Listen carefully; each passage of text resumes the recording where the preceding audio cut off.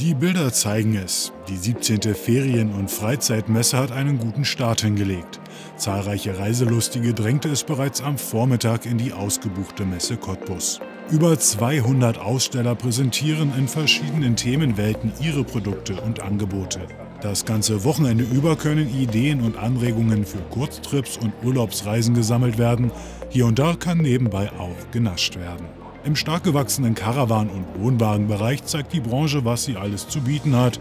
Über 25 Marken, von Adria und Bürstner über Hobby bis zur Ventura. Motorräder, Autos und sogar Boote runden die Sache ab.